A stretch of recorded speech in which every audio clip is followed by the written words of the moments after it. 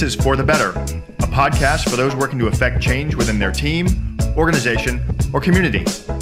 I'm your host, Ben Cash.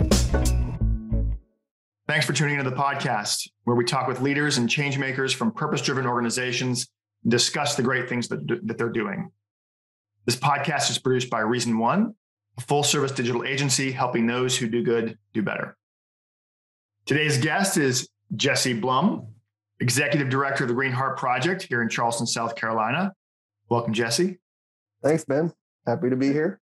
I, I got my uh, my uh, Green Heart swag on, representing. That's right. That one's from uh, 2018, maybe. Oh, this is. I think I've got two of them. I've got one from like early days uh, that I got from Drew Harrison, and uh, my wife once actually tried to throw it out. I found it in like I was taking some stuff to Goodwill and I found it in there. I was so mad um, because it's like it's it's my like favorite T-shirt. Uh, I think I've even told you that I I uh, the reason one shirts that we have. I was like, it's got to be like the Green Heart shirt with the big the big emblem. So right. thanks for the great swag, man. You're very welcome. um, so for those who aren't aware, what's Green Heart Project? Oh, the Green Heart Project is a nonprofit organization based in Charleston, South Carolina. Uh, we build school gardens very simply. So we work with schools. Um, we put gardens in at the schools and we use them as outdoor classrooms. So the kids in the gardens, they learn how to grow food. So they're food gardens. They grow the food, um, learn about that growing process and how it connects to what they're learning in the classroom. They also learn how to harvest the food and how to cook it.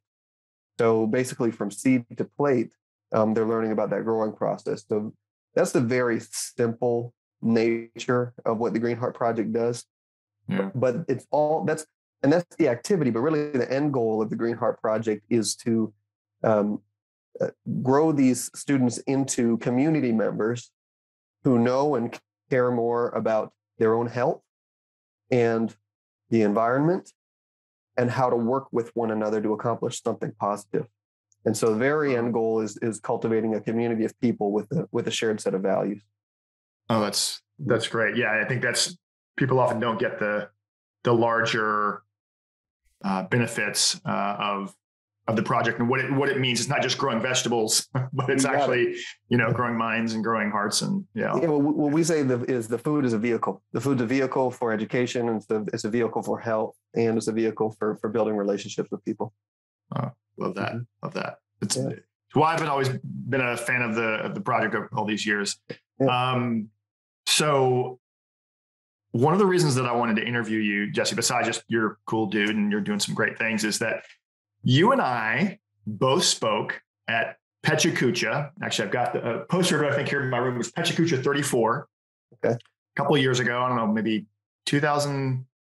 I want to say 19, 19, 19 like okay. b- before the, before the, uh, you know BP. Yeah. You know what happened, right? um, and what was great about that was that like we, you were relatively new to Green Heart, right? Uh, and we're talking about your your story, how you got there, and all these things. And, and I was also talking about my story of, of change and where I was hoping to take the the agency as being a vehicle for you know force for good. And it was sort of this. I recall us kind of going, uh, okay, let's let's check in in a year and see how we're doing, right? Right. right. Uh, mm-hmm. And of course, COVID was like, hold my beer. mm-hmm. uh, but you know, I so I was really I was really struck by your your story in that, and I'm uh, I know it, it Green Heart was was not your first rodeo. It's it's um it was sort of you your past led to that, and so why where did this start for you? Why urban agriculture? Yeah, so good question, Ben um, I, I've always been drawn to nature. All right, so I would say that's the very, very start of it. So I'm I'm native to uh, Milwaukee, Wisconsin. Spent my summers up in northern Wisconsin, and I learned I learned to be in the outdoors. I went to a canoeing camp during the summers uh, when I was growing up, and on these canoeing trips, you go out, you spend days at a time out in the wilderness with a small group of people, usually between four to eight people. And you just learn how to live with one another and you learn how to live in nature. And those experiences were, were really, really um, impactful on me from a from a young age. I feel like I feel like I learned how to be a human, you know, through those experiences. Much more so than going to school. Didn't have much of affinity for school. I didn't have much connection with my neighborhood.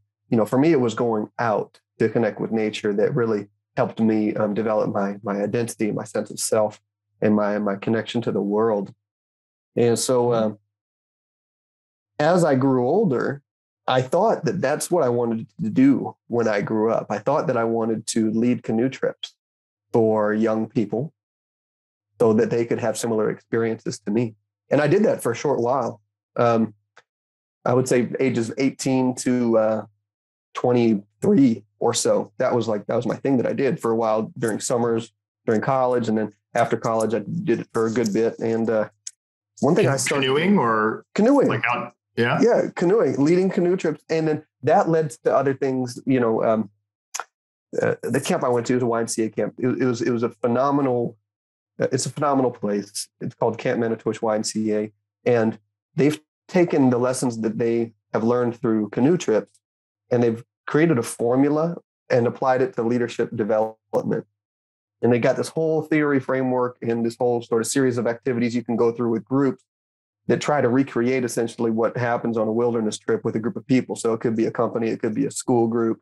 Um, you know, you go through a multi-day experience, problem solving, you know, learning about each other, um, oh, wow. and uh, so so through that process, I also got to learn a little bit more about uh, group development, and leadership development. I was yeah. fascinated by all of it. Did you? Sorry, when you were when you were doing it the, yeah. initially before that, was there someone that did the same thing for you that was sort of like a, a, a mentor or somebody who was leading that? Absolutely. And yeah. it, you know, it, it, was the guy who ran the leadership uh, program at that camp. He was kind of like a sage old guy. Okay. Um, he was, he was, he was native to northern Wisconsin, but he kind of, you know, I don't know what his relationship with the with the uh, with the Ojibwe Nation was. He was a he was a white guy. He wasn't a native guy, but yeah. he he was familiar with a lot of the old native wisdom um, in that part of the country, and he incorporated it into his leadership development work. Anyway, great guy. Yeah. retired. Mark Mark Zanoni. I'll give him a shout out. Hey Mark. Yeah. Um, but anyway, uh, learned about essentially um, le- leading leadership development processes you know, and uh, and and, and I, I sort of I sort of, and this is a long story, Ben. So no, just it's okay. Lean in, me, fast in. forward me if you want. But we, uh, I ended up taking a job back in Milwaukee, my hometown, um, uh, doing leadership development work with high school kids. We were working with uh, private schools from around the country and around the world, and we'd take small groups of kids from these private schools and put them into outdoor environments. We did a sailing trip where the kids would get on a sailboat and sail around for a few days. Mm. Um, there was a trip in New Mexico we did where the kids would go climb mountains in New Mexico State at retreat center, eat vegetarian food, and sort of you know really get out there. And yeah. then the, the, the last one, uh, and this, this is a sequence of experiences. The last one was uh, they we traveled to Costa Rica and visited a, a, university there dedicated to sustainable agriculture called ah. Earth, Earth University was the name of the university. So I found myself so you know I, I i i, loved the outdoors part of it. I loved the leadership development part of it. I was found myself at a two person nonprofit organization so i was number two out of two people. I basically learned how to run a nonprofit. It was a startup nonprofit so i learned all the administration and management behind and this is the one in costa rica this is Milwaukee. It's based out of Milwaukee. Oh, this is the one in Milwaukee. Oh, but you based went out of Milwaukee. But we would we would send kids. We would send kids all over the place. You know, to these different programs. So so learn how to do that and learn how to uh, manage a nonprofit and at the same time. But I was still dissatisfied. You know, after doing that for a couple of years, and the reason Ben was and with and with the canoe trips too. I started feeling this with the canoe trips, and then I continued with this other group that I was with. Is we were reaching like we were reaching the one percent, right, or the half percent, or the one percent of the population that could afford these experiences. Yeah. And yeah. and it was it was during this time that I was kind of you know becoming more self aware and recognizing that hey, you know, I'm facilitating all of these experiences with these one percenters. Am I a one percenter? You know, right. sort of getting getting self reflective. You know, and uh, and I became convinced that you know that I wanted to, I wanted everybody to have this type of experience that these kids are having. Yeah. And I was realizing that it was it was not possible in that format. It was also not possible in the format that I grew up in. You know, while canoe trips are awesome, they're just they're just not so accessible to people. And so I, I made that realization then before I knew anything about urban farming or anything like that. You were like early 20s at that point? yeah. Yeah. I was, wow. I was 20. Yeah. I was probably 20. Uh, I was probably 25, 24, 25 or so. It's a pretty good realization for uh, 20 something. yeah. I mean, I was like, I, I, was, I was convinced. I was like, yeah. you know, I, I, I know what I want to do, but this is just not working. And, and, and yeah. I, you know, but I started getting a vision of, of, of, what it was that I wanted to do. And, and it really crystallized uh, when I made these re- repeat visits to Costa Rica to this university there called Earth University. And that's a really special place. Um, hmm. they it's a university that teaches sustainable agriculture. They, they give four-year degrees, undergraduate degrees in agronomy, which is soil science. They recruit kids from all over the world, but they focus on the tropics. So you get kids from the Caribbean, from uh, uh, West and East Africa, from Southeast Asia, tropical regions around the world. And they mostly recruit from small, rural, poor communities. So you get these kids, and, and, and almost all of them are on scholarship. So they get big money from USAID and Kellogg Foundation and this and that. So these kids are on scholarship. And so you get these, these so this is not the 1%. This is they, the 99 They take that knowledge and they take it back to That's the idea. their home country, their home That's community. The idea. Yeah, yeah. So you get these. So, so, so so there you're reaching the 99%. You know, you're right. teaching them real practical skills that they can use. And they not only teach the skills, they learn how to, they teach how to, the, how to use those skills for community development and for economic wow. development. So every student that goes through there um, goes through a, a business startup. They get a $10,000 loan from the university and they start their own business product. And it's usually a value added food product. And so so they learn business development skills as they go. They learn how to consult with community members to undertake projects that benefit the entire community. And so they, they, they uh, that really lit a fire under me seeing that happen. And I was like, this is it. This is it. This is how you take experiences with nature, which is the mm-hmm. agriculture.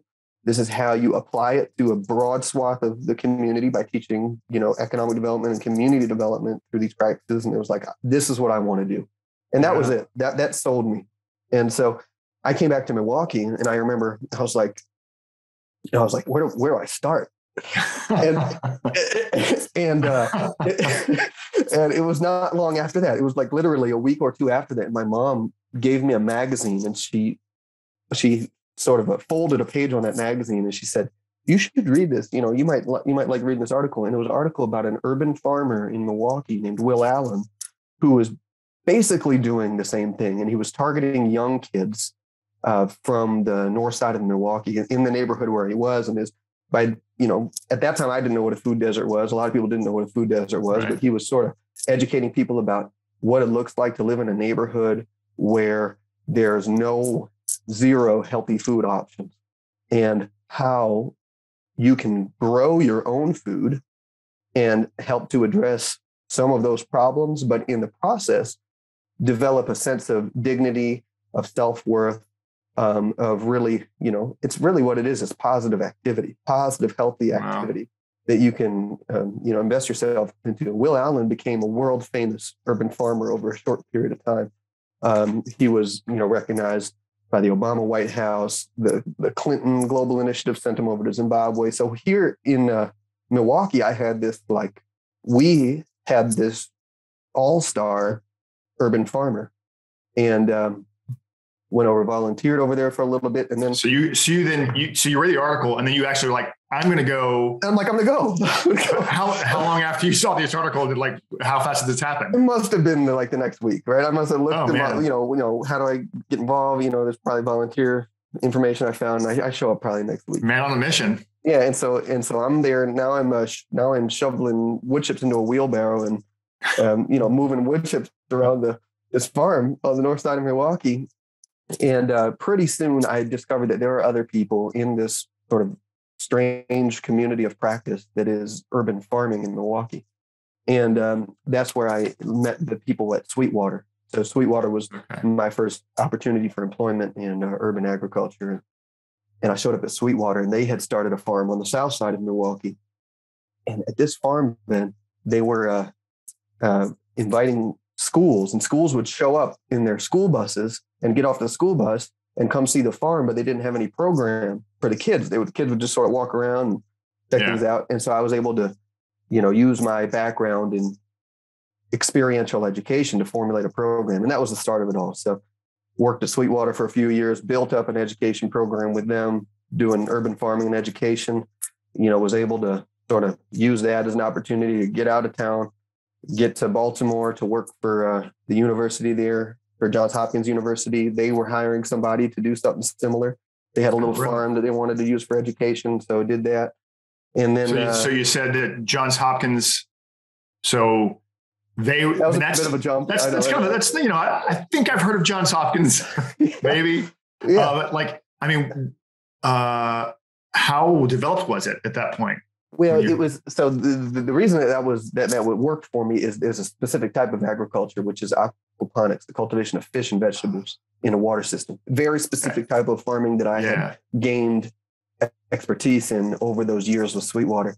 They wanted somebody to do this educational aquaponics farm, and there's only so many of us out there to do right. that. So I raised my hand, got a job, went went out to Baltimore, brought my family out there, and then um, I worked for them for a couple of years, but what I really wanted to do is get back into the community because when you're at a university, you're kind of separated in a way from yeah. what's happening in the community. And and that's when I was I was looking again, and that's when uh, I found that Greenheart in Charleston, South Carolina, where I had never imagined I might move to. Yeah, you know, let, uh, visit, let alone move to. I mean, you're gonna and you're I, gonna trade your canoe for a kayak, of course. yeah, and then uh, Greenheart's looking for a director, and and I sort of you know what convinced my wife is she grew up in Miami, Florida, so you know I convinced my wife that well, and she was trying to get back to warmer climates by the sea. And I was able to convince her and came down here to Charleston. That was three and a half years ago. So that's kind of my little bit of my backstory. You know, there's of course there's a lot of stuff along the way. I would yeah. say my uh, my greatest inspiration along that whole journey is uh, you know watching students get um, really uh, uh, a spark ignited in them in terms of interest and and uh, you know a, a, a, world of opportunity really opens up when you figure out that you can make a positive impact through something as simple as growing growing yeah. plants. Well, and I'm curious about that because you know, um, there, I mean, there's so many metaphors here. This is like one giant metaphor ball. I'm going to try to contain myself, yeah. but like, um, it sounds like like you're there's one aspect of setting up the environment and the opportunity for this to grow, for this to happen, right? Sure. But you also were talking earlier about like um, uh, how you learned a lot of leadership skills and being a leader, and you know, what does that look? What does leadership look like in that kind of environment? Oh, okay. So, uh, so let me talk maybe about like the what the students experience yeah, in the yeah. garden, and that'll lead me to maybe talk a little bit about leadership. So, yeah, sure, sure. Uh, one thing that I found over the years in these projects, and, and you see it with Greenheart in Charleston, that you know the teacher is trying to teach um, English and math and you know whatever academic subject they're trying to teach in the classroom. They're lucky, I think, or they're good and talented, probably a little bit of both, if they find a way to teach teamwork and okay. um, you know cooperation and um, you know and leadership in a classroom environment because like you mentioned the physical environment physical environments in the classroom's not necessarily structured in a way to facilitate right. that yeah it also or more stand and deliver. You got the one person at the top and you got your yeah very uh what um i don't know uh, different eh, you know a system from a different era. You got it. You got it. And so yeah. juxtapose that with the garden. You know you're out in the garden with kids and you gather around the garden bed to look at ah, what's yeah. what's growing in the garden. So we we at every Greenheart lesson you do a circle up. So you do a, a, big group circle up, and you've got the 15, 20 kids, however many. You know, you're all looking at each other, and you're all on even playing field, and you're all standing yeah. up. And then you go to these small group breakouts and you're circled up and you're working together and you know you're passing something back and forth in order to do the work in the garden, the hands-on work. So I think the, the environment and the activities more set up for working together and uh, Yeah. uh, um, you know practicing teamwork. And when when we talk with the teachers and with the principals at the schools about you know how Greenheart really makes an impact, they bring up things like the kids are learning how to work together in the garden. Um, so that's one thing, and I think you know leadership, in my experience, really spawns from teamwork, right? So if you learn how to work with each other on a team, you can start to figure out what effective in terms of helping your helping your team move in a certain direction. So you might figure out that you're really good at talking and giving directions. You might figure out that you're really good at doing the hard work, getting the hard work done. And so Right. we work with the kids on focusing on what works for them. You know. And I, I want to, I want you to keep going on this thread, but I just have one sort of question about what you just shared, which is, Yeah. Uh, so you're, you know, you, you know, you talk about, you know, when you put this in the school, you, you, you, they have math teachers and the science teachers and all these kind of things, and and, and those traditional sort of classroom settings. When you've implemented a program, and you've created that kind of new environment, and you're creating those that teamwork in those classes, have the other teachers come to you and said, Hey, I'm noticing a, a change in behavior or attitude, or like, how is your work affecting the the, the, the traditional classrooms? Yeah.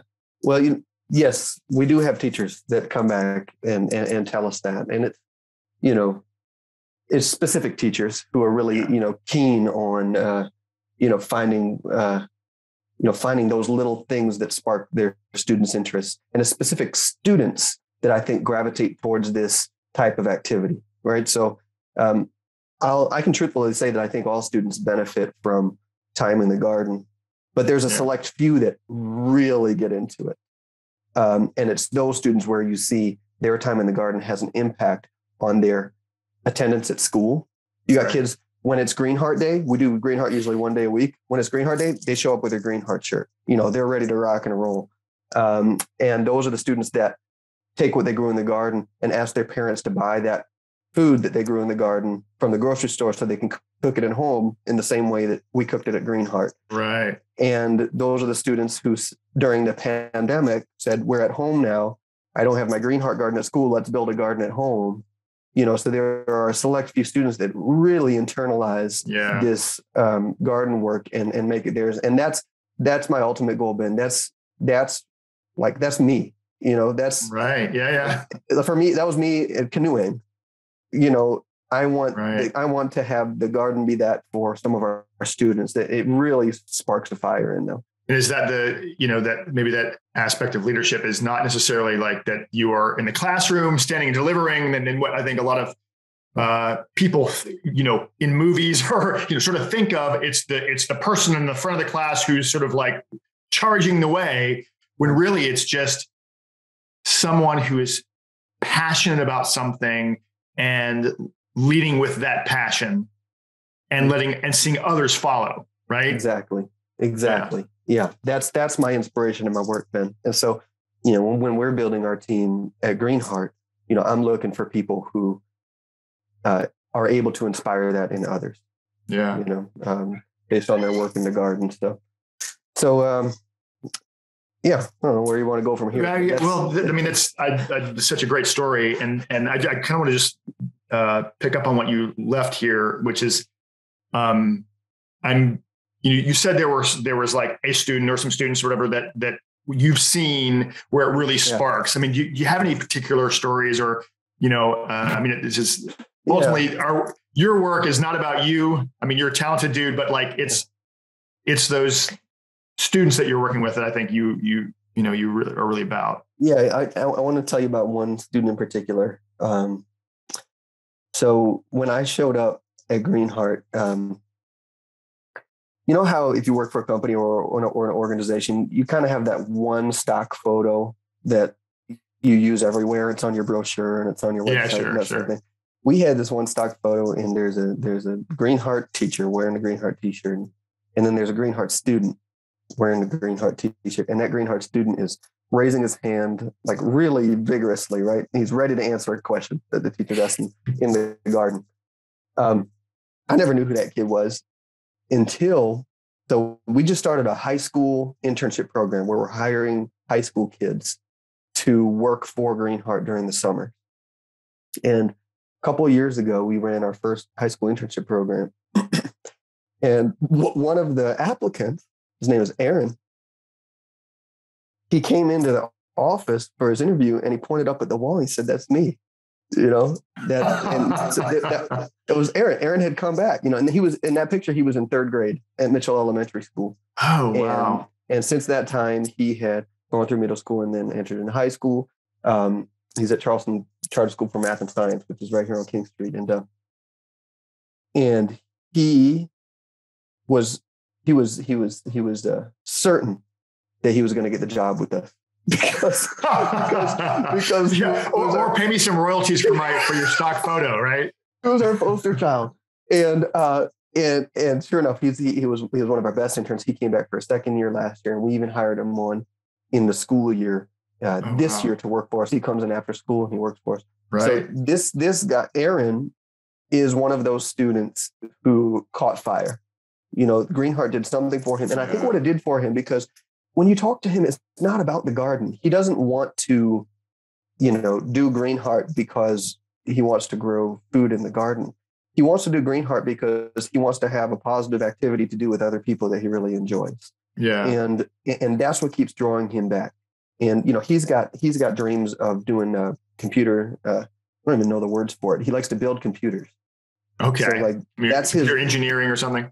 There you go. There you go. That's yeah. his interest. And he's always he's always using his paychecks from Greenheart to go buy computer parts and build computers at home. So it's not the gardening and the food. It's the it's, it's the people. It's that sense of community that we're trying right. to build that keeps bringing them back. We've got this community that we're trying to support these kids as they grow. And uh, you know, he lives in the neighborhood. He lives over here um, um, on the east side, and he walks to school. And you know, he's he, he's he's a hard worker, and he is like he's kind of like the you know the the he he embodies what I'm hoping we can continue to do year after year is inspire the kids when they're young and give them an opportunity to keep growing and maturing with us as they get older, um, so that they can then go on to inspire. You know, wow. Yeah. So that's that's that's, that's a great yeah, story. That, yeah. Yeah. Yeah. Yeah. That's that's kind of the one. That's kind of the one. And you know, one of the things we do with the with the intern is we try to identify, you know, for whom the internship is going to be a transformational experience. That's how that's how we phrase right. it. Because you know, we could uh, open up this internship program. We get all sorts of applicants, and some of them might apply for our internship. They might apply for, you know, band camp. They might apply for, you know, all of these other experiences that might be available to them. We are really looking for those students that, you know, this is kind of a, it's a unique opportunity for them. They don't have other experiences like this. That those are the candidates that we're going for. So we are looking you know, I mean, you're looking for young Jessies. I mean, yeah, yeah, yeah, like, you, yeah that are that are yeah. connecting the dots, that are connecting the dots, and yeah, yeah, yeah, you got it. Yeah. So that that that's the that's the impact that we're looking to have, and really that's kind of you know you said the podcast is about change, right? And and I, I would say that's kind of our theory of change, if you will, is um is inspire the person. You know. So that's that so is so inspire others. Yeah. It's so right. And and you know, I uh it's you know, um, so I'm leading a team, leading you know at the agency, and and I you know it's it's um it's it's a challenge right like leadership is a challenge because you know i know sometimes i'm i'm headstrong i want to i want to get somewhere i want to change things et cetera and i'm i'm uh you know uh to the detriment sometimes of my colleagues i'm like i have so many ideas i'm so optimistic and passionate about things that it's it's hard for me to, to get out of the way sometimes. Mm-hmm. And the the thing that I and sort of this mantra I actually have this little email reminder that's like a it's like an event event I put in my calendar that that sends a description for the reminder and every day it reminds me that it's basically like my job is to actually help them think creatively and help them do those things and just get the hell out of the way. Yeah. You know, it's it's hard. It's a hard balance, but um, Yeah. some of the best ideas, some of the best things that we've done have just have been because someone had the had the space Yeah. uh, to to do it. Uh, yeah, yeah. and fail a little bit. In, in fact, right, exactly, right. Let, let them fail. I mean, um, um, I, I when I came and I interviewed for this job with Greenheart, I I told my interviewers that uh, it was my goal to be replaced. We call the kids that we work with, we call them our Greenheart buddies. Well, we got the little Greenheart buddies, and we got the big Greenheart buddies. We're big Greenheart buddies. You're a big Greenheart buddy, Ben, and the the the students are the little Green Heart buddies. I told them that my goal was for a little Green Heart buddy to basically take my place.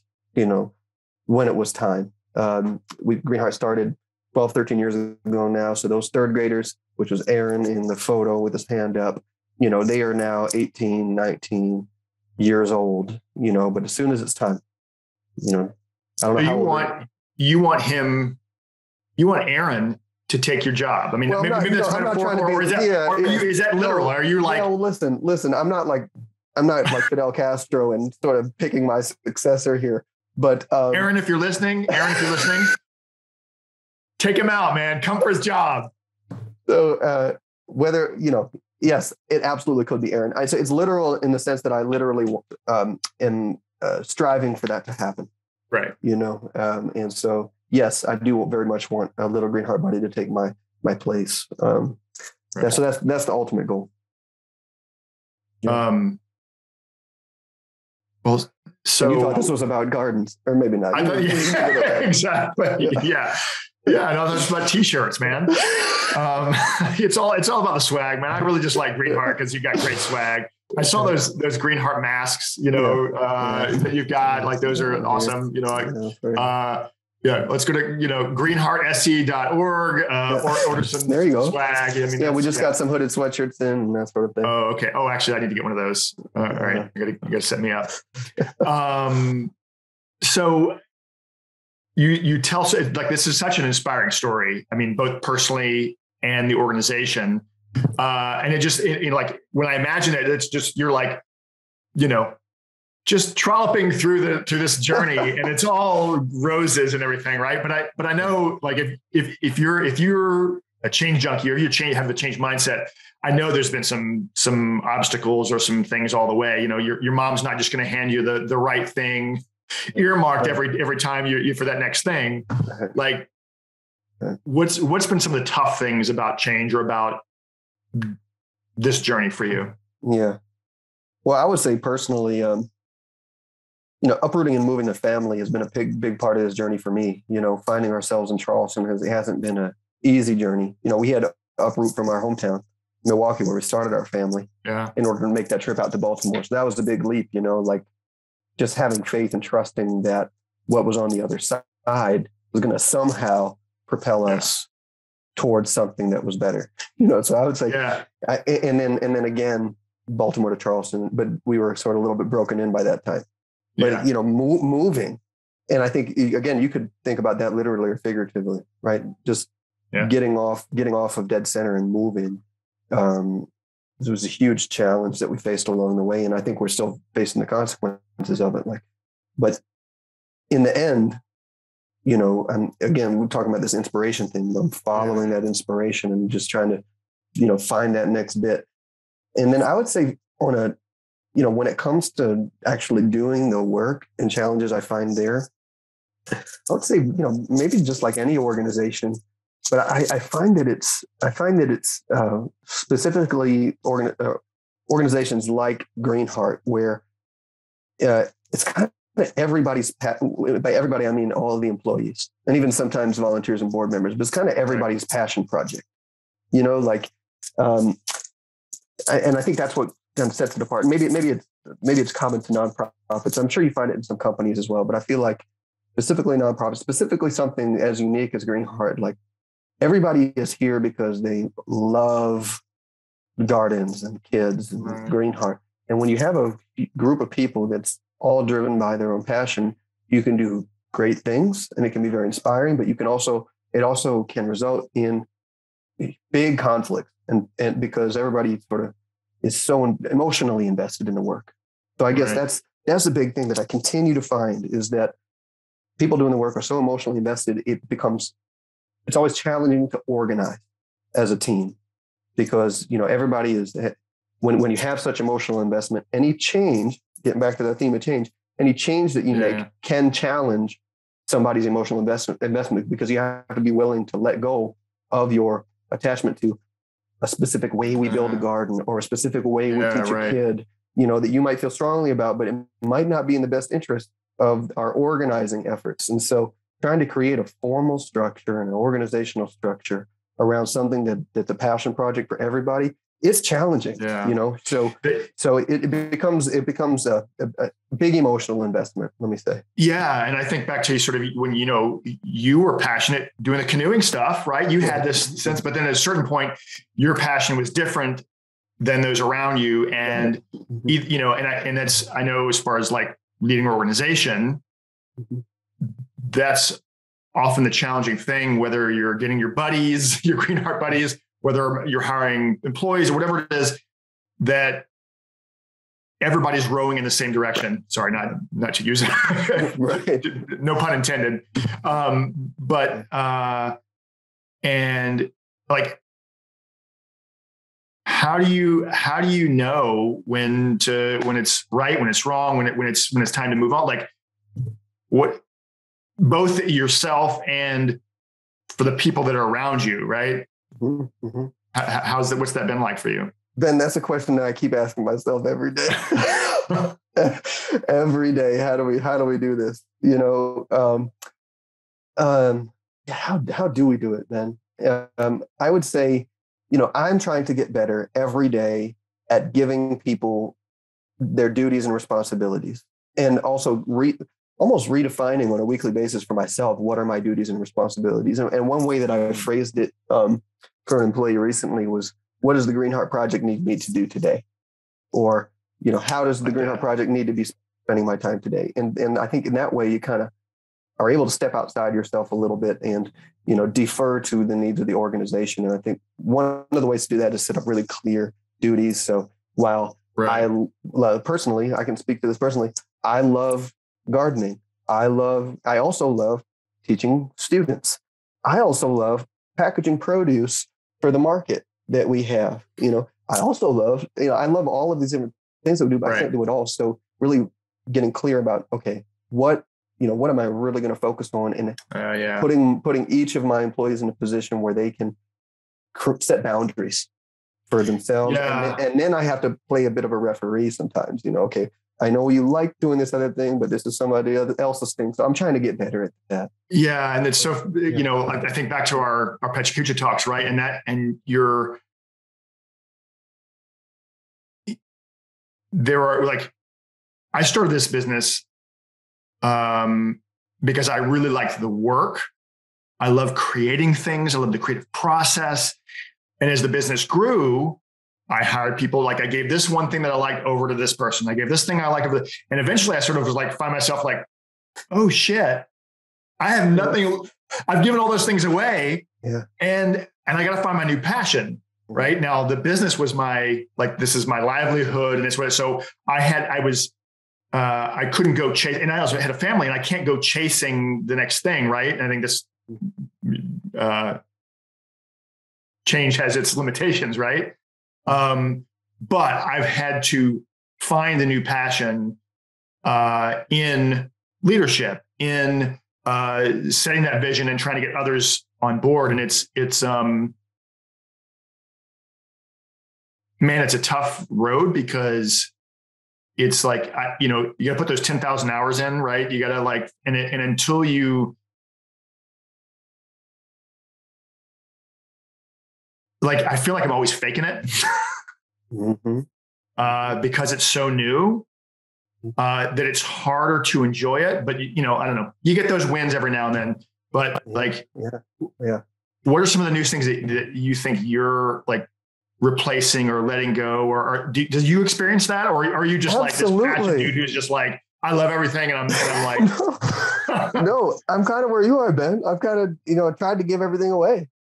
And uh, really, really, and you know, so I guess one thing that really gets me going, just like you know, just like I love seeing the the spark and the passion in the kids yeah. that really take on gardening. I love seeing that spark and that passion in my employees when they grab a hold of something yeah. that I used to do or that I used to be good at and do it in their own way. And like you said, stepping out of the way. So, you know, I would say that that is probably, that is probably the biggest challenge that I deal with. And one of the biggest things I'm trying to get better at every day. And then as a result, and I'm sure you see this too in your experiences yeah. too, as a leader, you know, naturally I become more of a salesperson with, you know, try to get people to get good at everything that they do at Greenheart. And now I just go out and I tell other people how great Greenheart is. You know, I'm not, that I'm yeah. not doing it anymore and everybody else is doing yeah. it, I can tell other people how great it is. Uh, passion know? for cheerleading, right? There you go. Yeah. Yeah. Go. So I'm, yeah, I, I, I'm very much in, that's the trench that I'm in right now is, right. is trying to figure out how to transition myself uh, out of the activities yeah. that I love so much and yeah. into a new, new space where I'm a cheerleader, yeah. a, a, re- a, referee sometimes. You know, exactly right. Yeah. Oh man, if you if you figure it out, let me know, please. Because because uh, yeah, oh goodness. Mm-hmm. Yeah. Um, so we're, we're getting close to time here, but I I uh, I did have one thing I wanted to ask because um, you know I, I've seen I keep seeing aspects of this you know the new urban farm uh, that you're that you've been building and I because of the pandemic, I just haven't gotten out as much, and I'm and I'm and I'm can't wait to go experience it. But I, um, what's tell me about the, the the, the urban farm and what's what's that? How's where's that taking Greenheart? So the urban farm that's that was the big project that that they had on the table with Greenheart when I came in, and so it's a half acre urban farm in downtown Charleston on King Street, 900 King Street and we built it in 2020. So it's been a year and a half now. We're in our second year of growing there. It's a school garden for three schools on the block, four schools now. Actually, there's a new school in, uh, in, in the area. They can all walk there and use it as their garden. It's in the middle of a residential community um, that belongs to the housing authority. So it's a workforce housing, affordable okay. housing. A lot of them are seniors. So there's a lot of senior housing there and then workforce housing, people who are in the workforce. And this was a partnership with local government, whereas Housing the other ones are partnerships with the schools. Is that yeah, is there a difference there? Uh, oh, yeah, very much so. Yeah, housing at the working on housing authority properties is different than working with the schools. But yeah, you know, they're both yeah, they're both sort of big uh, public institutions. So, yeah, uh, for better or for worse. And um, but uh, no, it's a great spot you know we we we very much are trying to create community buy-in. Uh, it's, it's essential to any time you build a garden in a residential neighborhood. You know the neighbors have to sort of feel like it's theirs, and so the farm very much is. It belongs to the community. Um, yeah. The folks who live there have a chance to garden there. So we got the school gardens, and we got some beds that are for the schools, some beds for the community members to garden there. And then what really brings people out is we do a, a weekly market.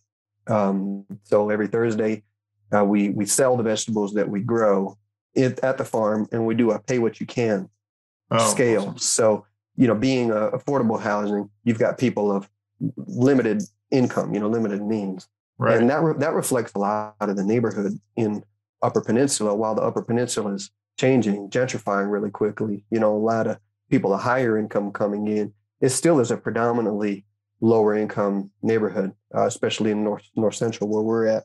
Right. Um, and so everything's pay what you can. So we got, so you know, most people pay something, pay a dollar, pay five bucks, you know, whatever you have available for your veggies. Some people don't pay, but then other people who can pay come in and they then they pay for their veggies and and some people give a little extra and we, we balance it out. So the the market is really what what brings people out. Um, so that's on Thursdays. And if anybody here is listening, uh, on a Thursday afternoon, come by 900 King Street, get get your fresh veggies you garden fresh veggies. Love it. Uh, yeah. Well, well, so that's a good cue to like. What are some things that people can do to to volunteer or support Greenheart?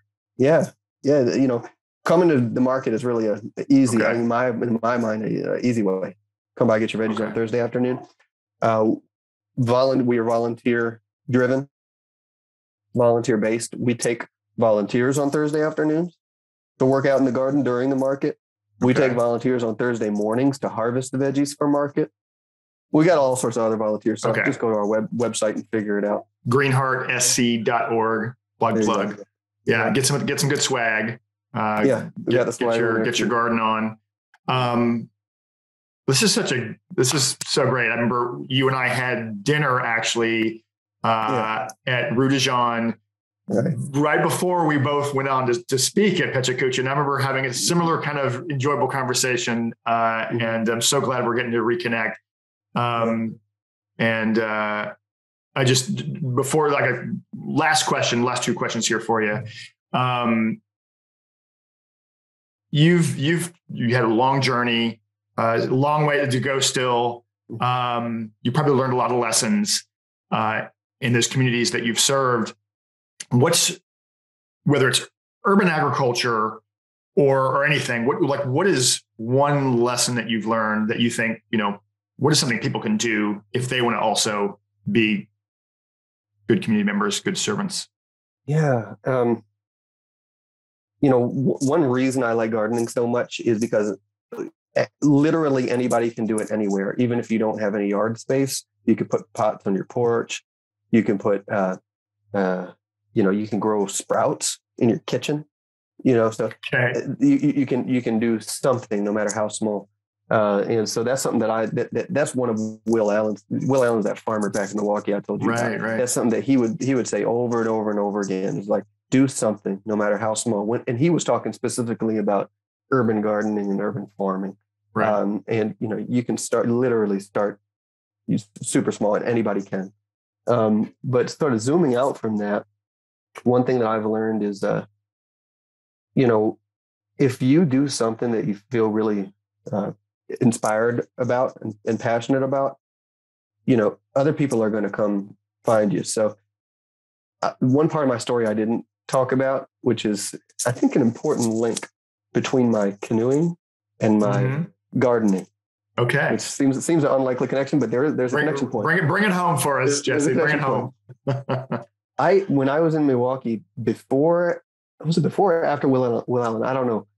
I started volunteering at a at a school where they built boats. So the high school kids were building boats uh, at the school. We were building canoes. We were building rowboats, and there were a couple of really talented and really inspired woodshop teachers there. I didn't know anything about building boats. I didn't know anything about woodshops. I loved boats, and so I just showed up at the school and I said, "Hey, I want to help."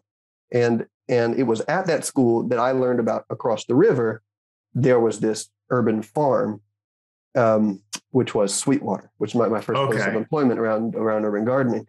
So I think the one lesson that I'm trying to uh, that I'm trying to pass on there is, you know, I've I found other people who were inspired to do work, and that inspired me to show up, and that was the wood shop, you know. And I didn't end up building boats. I didn't end up being a woodworker right. but it helped me it helped create uh, you know some momentum for me. Right. I, I went out there and i found pe- inspired people and i started you know spending time around them and learning from them and it led to the next thing. So i guess one thing i would ask people to do is just if you feel that inspiration and for whatever reason you're not going out there to do that thing go go do that Yeah. thing and find other people who are really jazzed about doing their thing. Yeah, that's so right. That's so right. um, lead with your lead with your passion. Um, I'm gonna, I'm gonna put that on a coffee mug or something. Maybe the next swag, it's gonna be like you know, lead with passion. Jesse Bloom. Blom. yeah there you go Um, okay All right. Well, uh, so besides you, uh, of course, uh, who is someone that we should follow or listen to, or or like who's who's someone's passion that we need to hear? you know, I've I've used his name so many times. I got to go back to Will Allen. You know, Will Will, yeah, Will uh, is a literal literal giant of a man, um, former basketball player, and uh, you know whether or not you have any interest in urban farming or gardening, this guy is is is inspirational. So uh, look up Will Allen. He's done a bunch of talks. Um, they've done a bunch of videos on him, uh, and um, learn about somebody who really um, moved the needle when it came to you know ur- urban farming becoming a thing that is more recognizable in the United States. Fantastic. Yeah. Well, Jesse, thank you so much for for chatting with me. Um, this has been a pleasure. Um, we got to get to Rue de Jean again. I'd love that. I'd love to bring it back. we we gotta get together again. Yeah. Um, and uh, I need to meet Aaron. I feel like I feel like I need to meet Aaron as well. Uh, so anyway, Uh, thank you so much. Yeah. All right. Thanks, Um, Ben. Cheers. Greenheartsc.org. Um, go check them out. Go visit the the urban farm on Thursdays. Get some get some good veggies. Yeah. Thanks, Ben. Take care. This has been an episode of For the Better. For more information, episodes, or to be a guest on the podcast, visit forthebetterpodcast.com. Thanks all. Be well.